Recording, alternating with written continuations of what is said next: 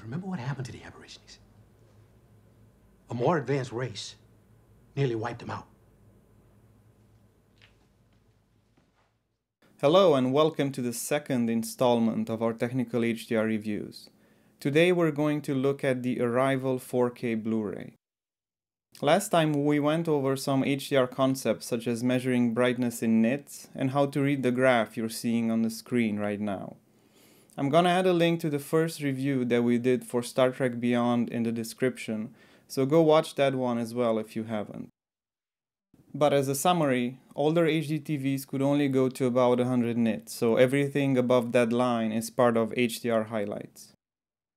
One new element that we've added in this review is the bitrate counter that you can see at the bottom right of the screen right now.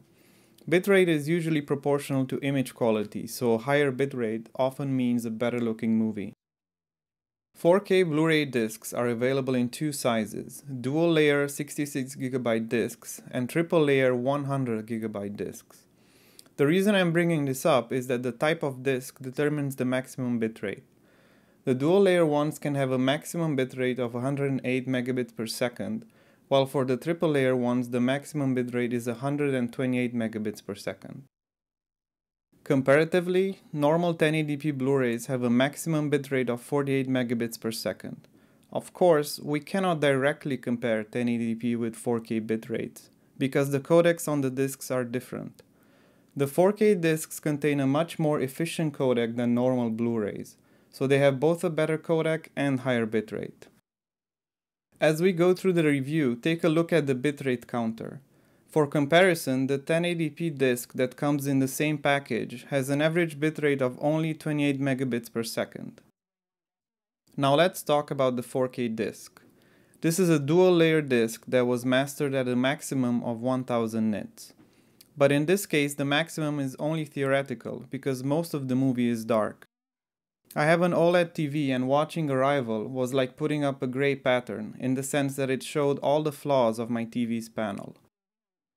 Let me show you how the brightness waveform looks like as I quickly scroll through 30 minutes of the movie. As you can see, most scenes are below 100 nits. As we previously discussed, this is normal since HDR should mostly be used for highlights. What is unusual, however, is that even the highlights, such as the sun or bright lights, often do not go much above 100 nits. Also, there are many scenes where the brightness is below 10 nits, and some where it's even 1 or 2 nits. It's a lot more than that, you cheeky bastard. Don't you see?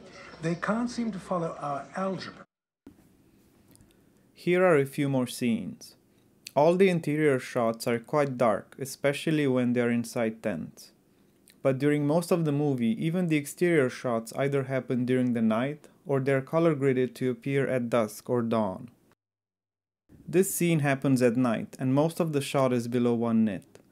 But pay close attention to the lights as well. Normally when I shoot time lapses for this channel, these types of lights would have a brightness far exceeding 200 nits. So this choice to tone down the lights was made by the director and the colorist during post-production. I added a link to an interview with the colorist of this movie in the description. If you read it, you will see that the look of the movie was a deliberate artistic choice of the director. Here's another shot that happens outside. Look at the sky above the tree line. You can tell that the brightness of the sky was substantially lowered on purpose. While the movie starts out very dark, it gets brighter towards the end. As humanity gets more enlightened, so does the brightness of the movie.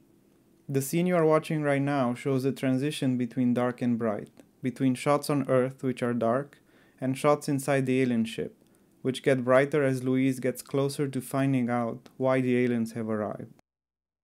Even so, I haven't found many scenes that go above 500 nits, which means even the brightest scenes are still at about half of the maximum brightness this disc is mastered at. If you thought the Star Trek Beyond disc was controversial, you should check out the heated debate in the Blu-ray.com forums about this movie.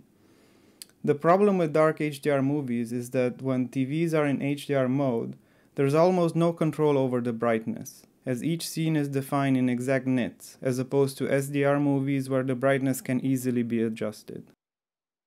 So, let us know in the comments if you think this movie is too dark, or if we should just accept the choices made by the director.